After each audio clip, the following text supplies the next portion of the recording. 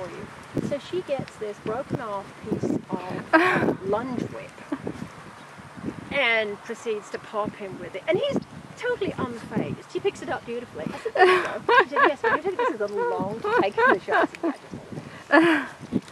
But that's the sort of horse he is. He's like, oh, okay, you want to do that?